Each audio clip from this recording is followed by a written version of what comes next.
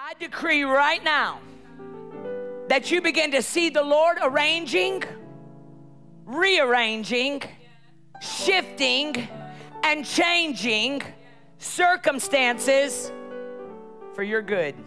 In fact, I want you to repeat it. Say, I decree that I'm coming into a place of divine setup.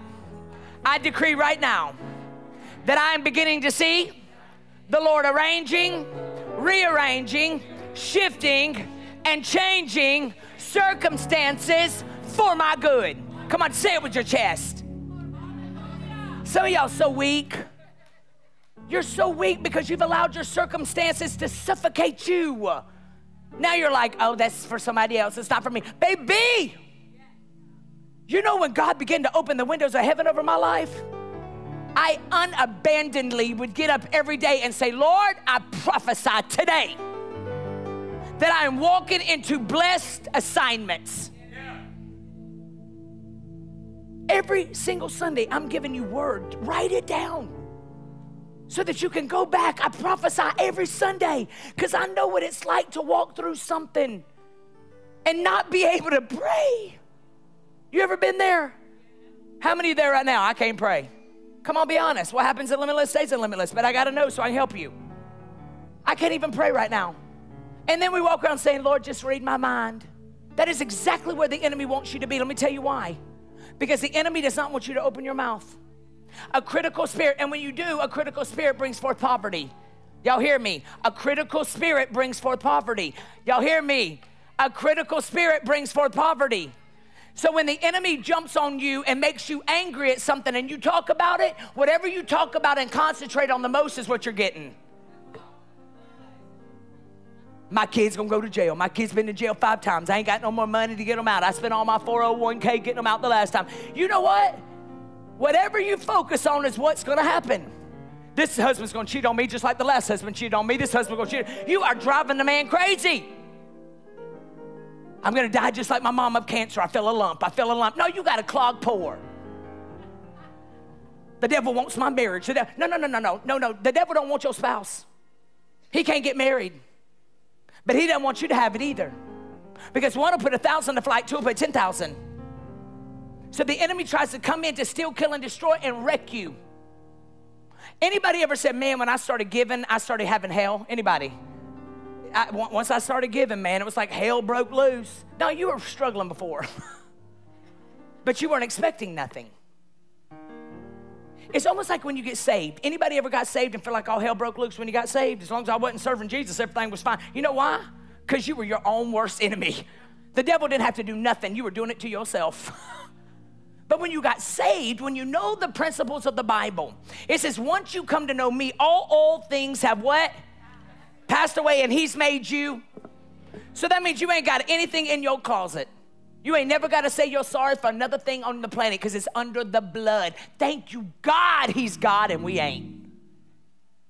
But what happens is the enemy knows that the power, the same power that raised Jesus from the dead, lives on the inside of you. So the enemy's gonna make you petty, critical, negative. He's going to magnify mountains in your life. He's going to mag- magnify, all the critical things. And you know what he's going to do? He's going to pull you away until before you know it, you are right back in the wilderness. Exactly where God saved you from. And so we've been in this series where we are learning about make it make sense. I was raised in a religion where uh, pastors broke. My daddy was broke my whole life. I mean, he had money. Like I didn't suffer, but I never saw like like business opportunities and and when God called me to be a pastor, I was having a hard time because I was like, I'm not gonna be broke. like I'm gonna I'm gonna I'm gonna work my butt off my hustle is gonna be holy, and I'm gonna lead by example, which means I'm gonna get so free from people that I begin to not focus on people, but I focus on God. I focus on the principles of God. And so when I became a pastor four years ago, I didn't know how to pastor. Like it's almost like God gave me this promotion. I was like, there's nobody gonna be in my church because I am not a coddler. I'm not coddler. I'm not like, I'm like, oh, you went back, y'all went back, y'all back together again, y'all still screaming at each other again, right? oh, you did it. You, oh, I, I'm, I'm, I'm, I'm the queen of let's own it so we can get free from it, right? Because the enemy does not come to, to, to, to fight your life unless there's something in your life he doesn't want you to get to right? I'm teaching you every single Sunday, Monday through Friday, 8 a.m. prayers, that you are a threat to the enemy. And it's not even, hey, y'all, even if you today go and backslide, you go to hell on a slip side today, you're like, screw that, like, bump that, like, he ain't ever been there for me. I'm teaching you that at any given moment you can get back up again and take back your life. It does not matter what you did yesterday. In fact, what's tea to them is testimony to you, right? I'm teaching you how to embrace where you are so that you don't keep repeating where you are. Not deny where you are, but embrace it so you can fix it. My prayer every single day when I wake up is God, let them hear themselves in their own ears and get sick of themselves if they are if they are sabotaging their life again let them hear themselves in the ear and be like oh i don't even like you so that you can fix it. Because i want this church to be blessed y'all. I want you to own I, I, he says the wealth of the wicked is stored up for us. They always say money don't make you happy. Bull loney that's a lie from the pit of hell. Money don't make you happy but it showed us help. One of the greatest causes in the world for divorces is what? What? Money. But yeah, we're gonna go around saying church, pastor shouldn't be this, pastor should be. It's always those people too. You know, I love to, especially when I got time, when the haters come at me, I love going to look at their profiles. Most of the time, none of them got profile pictures. Number two, broke. Broke. Angry. They look it. You know, there's people that wear their situation. Well, why do you do that, Pastor Kim? Because I need to be armed. Like I gotta be armed. Like, like ever so often, I don't do it very much because I'm the queen of block. I block you so fast. Like I love for someone to write a big old long dissertation to me about something that they don't have any clue. You sound so stupid. And then all of a sudden, I love it. I get this high off of deleting after all that blood, sweat, and tears you put to be critical. I just block you. You ain't never gonna be on, you gonna miss me. You gonna miss me because you ain't never coming back on my page. But why am I that way? Because for so long, my life was driven by religion. Religion was only us going to heaven. I remember I used to sit on the front row and my daddy's choir would be up there singing. They all looked like Amish. My mom would make me go swim in the Atlantic beach on the furthest part of the beach where it was crappy and crusty because there was no other souls there. And we could not mix bathe at six. And I'd wear a long sleeves because you know them elbows are so sexy they gonna make every man fall. I was six. I was raised under women were quiet. And in fact, half the time, uh, for, until probably 11 uh, years before my daddy died, he didn't believe in women preachers. And so I'm all of these labels of special ed. Y'all know I was in special ed. I still don't know where comments go. That's why I'm teaching you how to be in the Holy Ghost so you can interpret my statuses. but I look back today and I realize that every single thing that I walked through, thank God that my father raised me and my mother raised me, that you learn to grace move. That means you can be one way for so long and then God deal with you and you don't even have to explain it. You just shift. Right? Thank you, God, that I am not walking around with long blue jean skirts and kids. Ah! Can y'all imagine Mimi? I saw a picture of her the other day. She looked like she was 70 years old at 30 because women need some paint. I don't know why we need paint, men don't. I always ask God, why do men just to get, get up and shave? And us women, if we don't put makeup on, it's like, what happened? You sick? You sick today? No, I'm just going all natural. But we do. Because God created a man to be, huh, hear me roar. And he created a woman to add the little cherry on top. Like we can walk into a room and he's having a hard day, and we can come in and speak life over him and speak life into his body. And then you shift. Women are that powerful.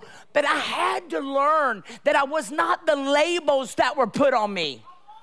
I was not who they say I was. I was who God said I was. And at the end of the day, I'm so glad that I walked through all I walked through because now I know how to take a licking and keep on ticking. Now, when something is handed to me and I feel devastated and I feel broken because things don't look the way I thought they would look at 51 years old, I can realize that greater is He that is in me than He that is in the world. I am not my circumstances, I'm my comeback.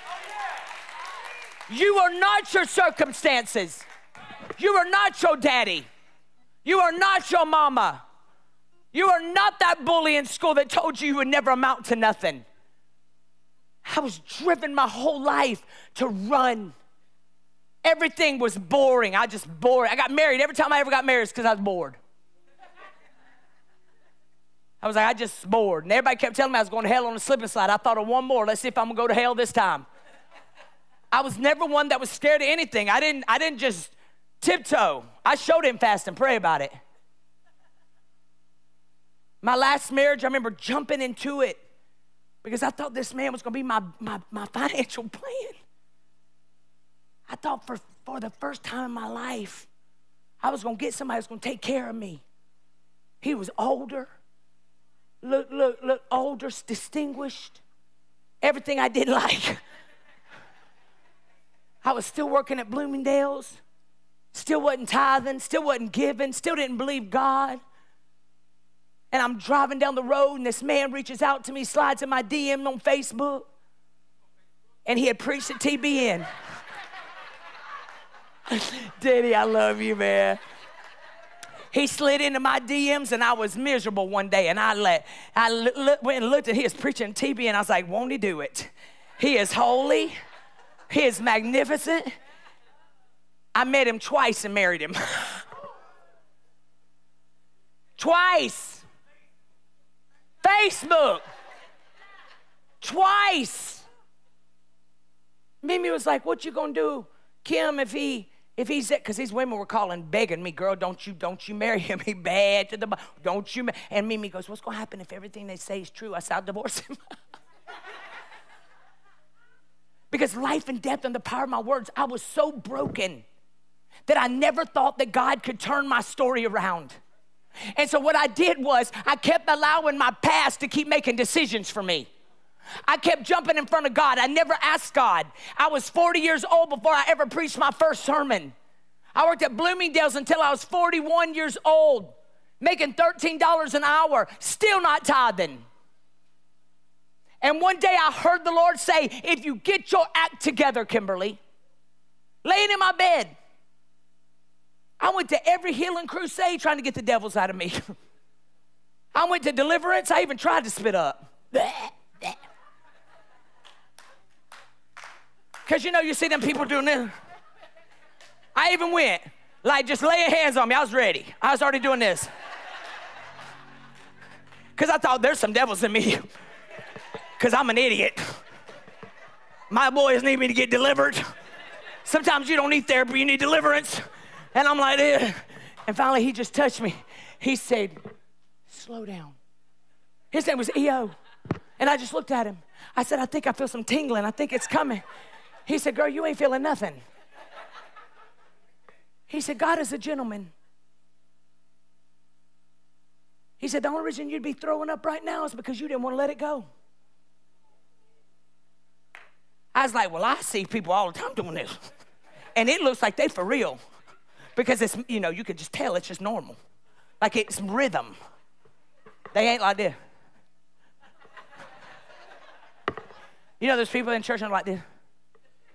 And then they forget this hand. I love you. Ever how you choose to get delivered, get delivered. But for me, that was not the way. He said, I need you to walk yourself through this thing. He said, I need you to realize that God already got on that cross for you, Kimberly. I need you to realize that cigarettes don't bound you. I need you to realize that bad relationship, oh, preach, Kim, bad relationships don't identify you. Kimberly, I need you to realize that when God comes on the scene and you really get out of your own way, He takes the time you have left. He takes the time you got left.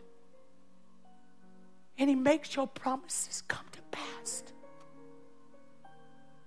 So he let you walk through it And he knew it was going to take you a long time because you were late bloomer.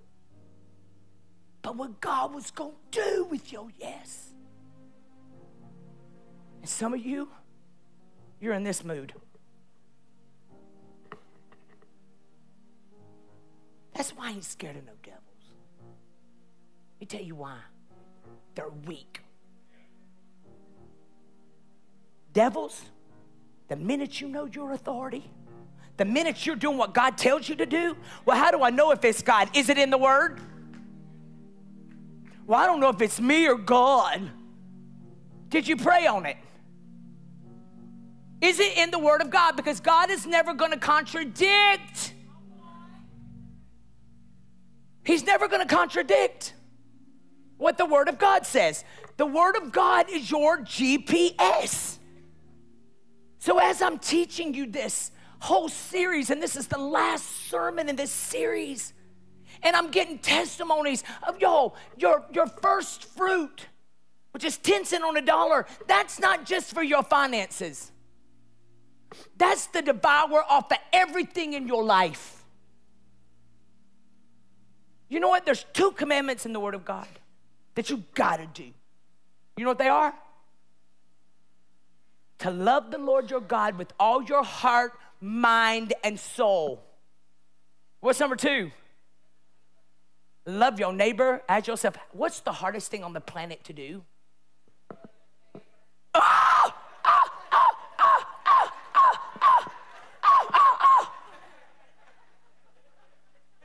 Because now we got social media. You're going to see every single post they ever make about you. Love your neighbor as yourself. You know what that means? You got to get away from you and step into it. By his stripes, I'm healed. I carry the same oil as God. I carry the same power that raised Jesus from the dead living on the inside of me. I want to kill you, but I'm about to go fast and pray until they can smell my breath the whole block away. I am going to push back my plate and I'm going to say, Father, I need a miracle in my life in 24 hours. Some things only come through fasting and. When's the last time you fasted? Well, when do I fast? What, what, what, what how do I fast, Kim? How, yo, you Google everything else. How do I spiritually fast? Google it. And then do it. And then say, Lord, I'm not letting up until I feel a breakthrough. Ah. Money, say money, isn't my problem my management is. Money ain't my problem, it's management. The enemy comes to steal, kill, and destroy, and he does it through afterpay. I went to a Gap the other day and they said, You paying with afterpay? I was like, What? Afterpay. He does it through needing to keep up with the Joneses. Their bag is, is a fake. You trying to go buy rob Peter to pay Paul? Get that poochie? Or you go buy it for $2,000 and ain't nothing in it because you can't afford nothing. I just need to have this, or if I get this, I'm gonna feel happy. No, it's an inside job. When you get your inside right, it's the law of draw. Listen to what listen to what Proverbs 11 24 says. You ready for this? Y'all ready? It says the world of the generous gets larger and the world of the stingy gets. Anybody know any stingy people? You stingy? Look, y'all like, it depends on what you mean by stingy. It's hard when you're single and you're out here trying to put clothes on your kid and that 10 cent that 10 cent on a dollar seems really big. And the enemy's like, I'm gonna get, I'm, I'm, I'm gonna get you this week. Go on and give, and then I'm gonna get in your mind, and I'm gonna start making you think that God's on vacation. I'm gonna make that lump feel like it's breast cancer. I'm gonna make you lay awake at night in your bed, worried about your husband cheating on you, your wife leaving you. I'm gonna, I'm gonna make you feel like you ain't never gonna be out of debt. So now you have just dumbed yourself all the way down to being broke. I lost everything in the pandemic. Anybody lost everything in the pandemic? Anybody? That's okay. Because God never lets what you've lost be greater than what He's gonna bring in your life. You know what Ephesians 3:20 says? Glad you asked. It said He's gonna do exceedingly abundantly more than, huh? Huh? Huh? He's gonna do exceedingly abundantly more than you could ever ask or think. But I gotta be a generous giver. I gotta, I gotta make sure that I my heart is right. Listen to what Matthew 6:33 say. Matthew 6:33. It says, "But seek first the kingdom of God."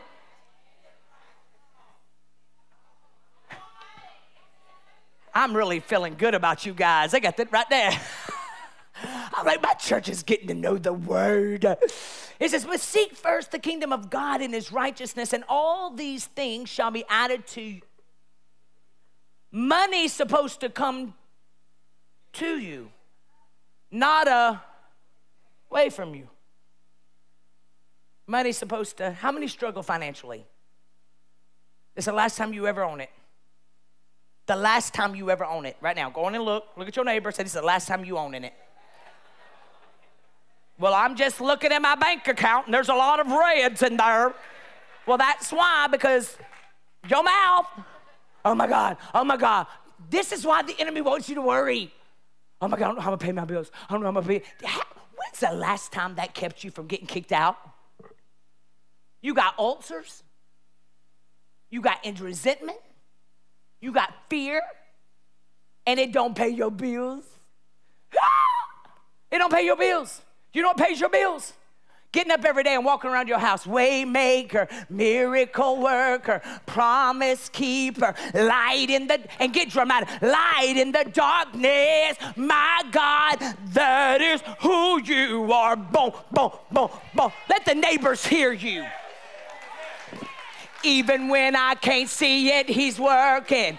Even when I don't feel it, He's working. He never stops. He never stops working. He never stops. He never stops working.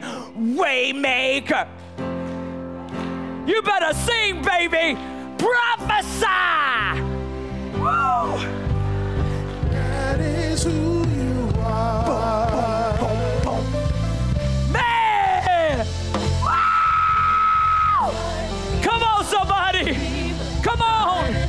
He's working it out for you right now. That is who you are. I always wanted to do that. Listen, whatsoever you sow, you shall reap. Feed what's feeding. Bless. Help. Pour into. Boom shakalaka. Listen, whatever you invest into the most, you better preach. Y'all, when people start yelling out, I'm, I know they're seeing it. See, God sometimes lets you hit rock bottom to find out who the rock is at the bottom, which is Jesus. He like, I gotta let you lose everything because, because if I didn't let you lose everything, you're gonna stay in that place where they're sealing with your floor. Ah, whatever you invest into the most will give the most back to. What areas are you underfunding and over expecting? Ah! You're underfunding and over expecting. You give your 10% one week, two weeks, three weeks. It's like trying to get back in them jeans from when you were in high school. Your whole body's changed. The only thing that fits since high school is your earrings. But if you get on Snatch with RTK and you make a commitment, no sugar, no creamer in my coffee, well, what am I gonna do? We act like we gonna die. 30 days, I can do anything. Tell your kids, stop telling your kids we broke. We broke. We broke. We broke. Stop tell we can't afford that. Stop comparing yourself to your friends. They got a daddy in the house. We broke. You better stop it. You better start telling your kids, babies, we are saving up for our Airbnb community.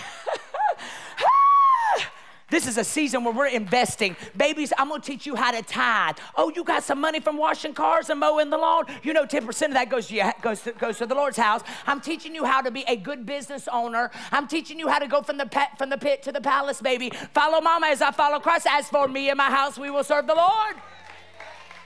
You gotta tell your kids, hey, y'all, tonight's Pappadeaux. you know them ramen noodles that we bought five, uh, five, yeah, yeah, yeah. We got five for like a dollar last week. Well, I got a whole special. We're gonna make a cookbook for the next 30 days. Everything that we make, we're gonna come out with a cookbook. But tonight we're gonna start with ramen noodles. We're gonna put some hot dogs in there. We got some Tony Chachere, and we're gonna we're going to Pappadeaux. Because we're in a season of saving and investing. Stop running your mouth to your kids negatively. Kids don't listen to what you say, they watch what you do. That's why some of your kids are messy. You know your kid should have been expelled. But you've been right up at that school with your shoe off. Right? I'll never forget. We were on vacation in Lincoln. Went down to the lake. Decided to put his name on everything. Place came and said, it was a five star resort. They said, ma'am, do you have a son named Lincoln? I said, why? They said, well, he decided to autograph everything at the, at the lake, all the, all, all, all, the, all the picnic tables. His name is just done in bubbles. He was very creative. I said, oh, no, that's not my son. No fault. Finally, when I sat down, I said, Lincoln, did you autograph? He said, Yeah, but I thought it was erasable. I fought like hell for him. And he did it. And I said, You know what you're going to do tomorrow? You're going to go fix it. Whatever they make you do, you got to do it and stay in ownership of it. Here's what I'm saying to you if we're not putting things into place, how are you going to be a generational curse breaker and a generational wealth? The minute I got out of my own way, I have watched God do more in my life in 11 special ed, and I'm, I'm on my sixth book, comes out in August, I'm with the biggest publisher in the world, HarperCollins. And I don't know where commas go. Six figures. Because God knows I don't want to depend on this church. I want to sow into this house. I want to be the biggest giver here. And I want to be able to get up here and preach truth with no secret. You have to get to a place where you take inventory of your life and you say, God, I don't like this, so I'm going to fix it. Take a season. Strongholds, listen to this. Strongholds is anything that attempts to redefine anything that God has already defined. You loved you, and now you feel like a piece of crap. Because you let people in your life that redefined who God created you to be. You know what I have found with people that tell you crap about yourself that are the loudest ones? You me tell you who they are? People that ain't doing nothing because you're to watch as you begin to fly. You won't let nobody tell you nothing about nobody. You're like, I am not a trash can. you are not going to contaminate my spirit. Oh, but I don't know how to tell them to stop gossiping with me. If they got enough, if they got enough, uh, uh, what I ain't gonna say the word because we in church, but if they got enough audacity to come to you with trash on other people, you should have the same audacity to shut them up. Say, let me train you in something. I used to be this, I used to know T on everybody, but what I realized was when I started elevating, I didn't have time for that anymore. So, as for me and my life, I am gonna stop this right here. I love you, but I'm gonna love you in that balcony. I'm gonna love you from way up there because where I'm going, I gotta have some, I gotta have some iron, sharpening iron in my life. I can't have no butter knife Christians. I gotta have some people that won't co sign on my deprivation. I gotta have some people that when I'm having a bad day, they call me and say, Girl, take that down. I can't have people co signing on my junk because they like me being broken because it makes them feel better. That's your responsibility. When you only think on the level of your exposure, of what you've been taught, always broke. Yo, I used to be so scared to become a millionaire because I was scared the IRS was going to come after me. I was so scared. And then one day God said, You do the right thing. Go get you a CPA, educate yourself. And then every month you should be growing because you're a king's kid. If you ain't growing and you're in the same spot you were last year, whose fault is it? Huh?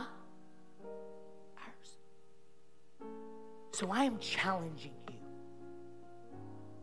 as we're walking into the summer months.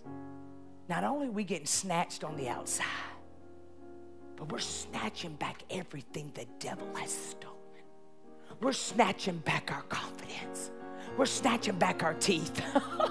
We're snatching back our power. We're snatching back our sanity. We're snatching back our sleep. We're snatching. I don't need you to affirm me. When I wake up in the morning, I realize because I still got a pulse, God's got a plan. And I realize that I'm the chain breaker of my family. I don't need you to co sign. I'm going to get up and show you. I'm going to show that God is faithful, that He can do what He started. He is faithful to complete it. Listen, here's 10 signs that you're controlled with the spirit of mammon. The mammon is something that has rule over you other than God. Your paycheck, money. You ready for this? Number one, you live with worry and anxiety over money. You don't trust God. I'm challenging you to step out and do something that is going to change the game for your family. Stop waiting. Y'all know I'm a coach. One of the biggest things that I come up against is people that are scared because their family always comes to them and says, You think you're better than everybody else. You better tell me to preach. I've been waiting. They're afraid of success because of their You buy your dream car and leave it in the garage. You get that good love in your life and you don't tell nobody. Because you're so afraid. Here's the problem when you're so used to the basement. I, I, feel something coming out of my spirit on this. I'm waiting for it to come through. When you're so used to the basement, the front porch feels comfortable. So you will stop on the front porch because at least you're getting by. That you'll never make your way to the top penthouse. You gotta break the cycle. Some of you have gotten depressed and it's eating you up. You can't break out of the depression. All you gotta do is get up, Waymaker miracle worker, promise keeper, and sing it all day long. David defeated the Goliath with a stone. Saul gave him his armor. He said, Get that armor off of me. I can't Some of you are in the position you're in because you're fighting with your daddy's armor, your mama's armor. And you got to break it off of you today. Some of y'all been laying at that pool of Bethesda for 38 years. You can walk. You can walk. But you're scared to walk because of all the torment that torments your mind every day fear, worry. I'm too far gone. That's a lie from the enemy. God loves to use people with the worst past to create the best futures. He loves to take the one that didn't even pass algebra in school and give them so many zeros in their accounts. He loves to use people that everybody gave up on. Some of y'all need to be like Noah. You need to stop answering answering people on your way to the top and you need to shut your mouth and you need to stay focused and you need to do what God told you to do and you need to let the rain speak for itself in your life. This is your season to take care of you. This season is personal. Another sign worry and anxiety. Another sign is money mismanagement. Mammon. Another one is consistent financial lack. Another is I can't afford it mentally. You can't afford nothing. You always say, I can't afford it, I can't afford it. Another mammon is impulse buying. You don't need another Shein haul. I got so many clothes, reach out to me. You my size, I got clothes, I'll hook you up. Impulse buying. Stop it. Stop going out to eat and go get you some chicken nuggets at Costco. Then go Google Chick fil A sauces and make it from your house. Decorate it with happy faces, whatever you got to do for your kids. Another one is stinginess. When God takes you to the top, you can't be mad at your family that never was there for you because the enemy loves to steal, kill, and destroy. Today, in this house and online, you got to let go of baggage that is stopping you. The reason you go one step forward and a hundred steps back is because your stinking thinking keeps taking you back there. Because you are holding on to crap that don't matter. You're holding on to anger that don't matter. If you wouldn't have walked through it, if they wouldn't have done it to you, you would never be as anointed as you are today. They were sandpaper in your life, and you're wasting the anointing that they were to bring in your life because you can't let it go. Stop trying to get success to prove to them.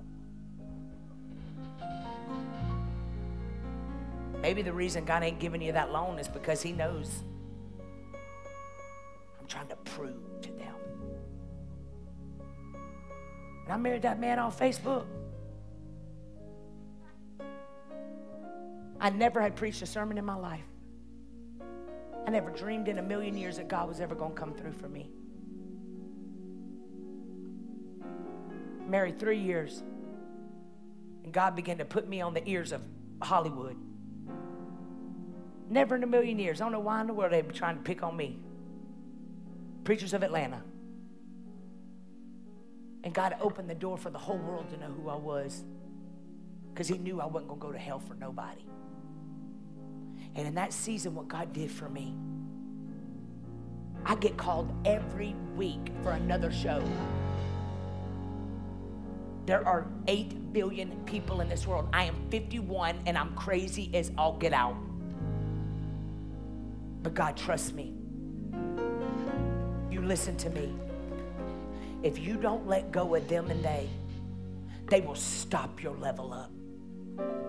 If you are finding any stoppage in your life, you need to get some Holy Ghost Drano today. And you gotta, God, I gotta let it go. I'm so angry. You better let it go. And you know what I just heard the Lord say? Let go of the anger you have for yourself. Some of y'all angry at yourself.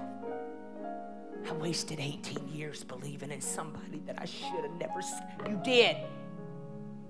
And now you got free life college and you ain't got to pay one student loan back.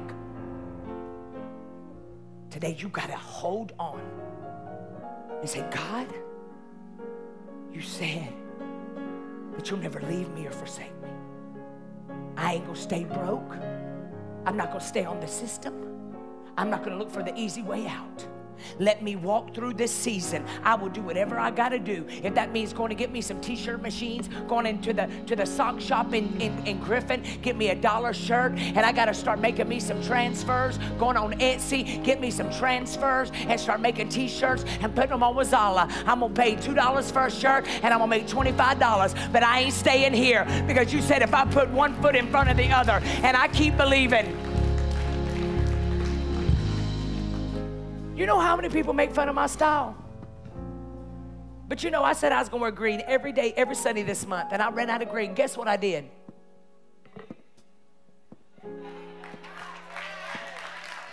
Stand up, baby. I even got a man that'll wear my clothes. I said, baby, you want a match? I used to die before I'd match somebody. But if I ain't walking it and hustling it, I got to show you how it's done. You can't get it if you are dreadful, depressed. You got to remember that the teacher is always silent during the test. Some of y'all on 285, round and around. You're going to be on 285 until you decide to find an exit to get off of. It's a complete circle. And in this room today, God said, if you try me at my word, what does that mean? 10 cent on a dollar. This, this, this whole month, I'm gonna go for it. I'm gonna get myself in shape. I'm gonna get outside and walk. I'm not gonna Netflix and chill. I'm gonna get boldness. Start speaking life over yourself every day. Stop living bondage to debt. Stop overestimating the power of money and stop being greedy and discontentment. How do I get rid of it? Shake it off. I prophesy over you, church, and online that your days of struggle in relationships, in your finances, in your health is breaking off of you in the name of Jesus. That was so weak. I know how hard it is. Yo, I know how hard it is. I know how hard it is when you feel like God's forgotten about you. I know how hard it is when you made some mistakes and you feel like you'll never get out. I know how hard it is to praise God on credit. Stand up on your feet. God is sending people in your life that's going to help you elevate. Be sure that your offense panties aren't so wrapped around your neck that you miss out on the blessing that God brings in your life by getting jealous. God's bringing people in your life that are meant to pull you. When God is about to elevate you, He always does it through relationships. Everybody, lift up your hand like this. Say, Father, I give you permission to make me the Joseph of my family. Now I realize that you were just repackaging me to set me on the right course. So, devil, I serve you notice that every assignment that you've sent my way is expiring right now.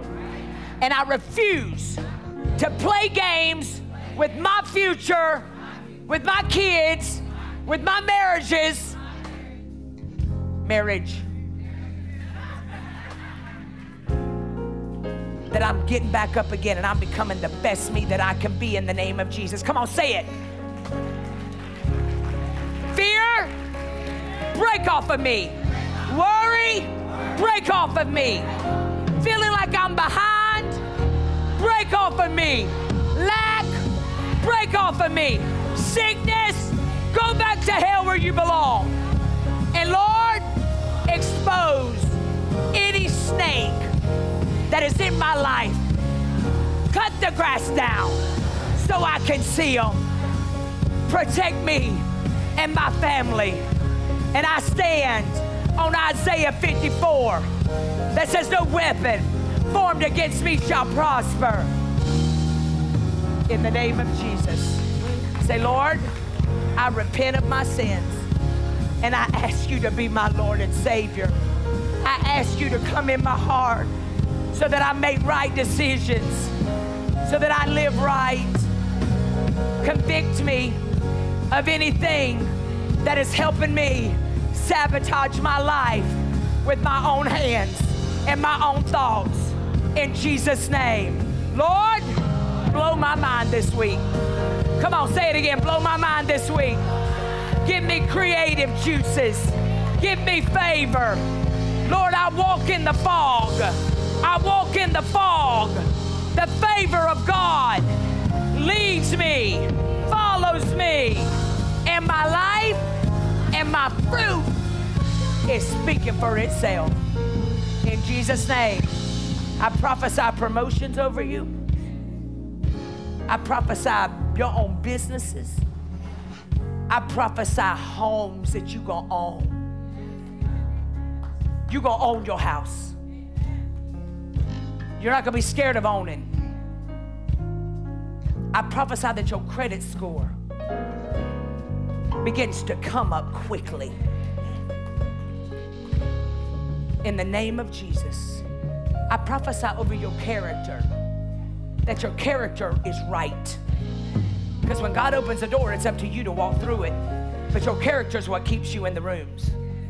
So any hidden agenda in yourself, I bind it off you. Any nastiness, any pettiness, any anger, any resentment, any shame, any embarrassment. You will not be afraid to advance. In the name of Jesus. Amen. Amen. How, y'all feel good? Y'all feel good?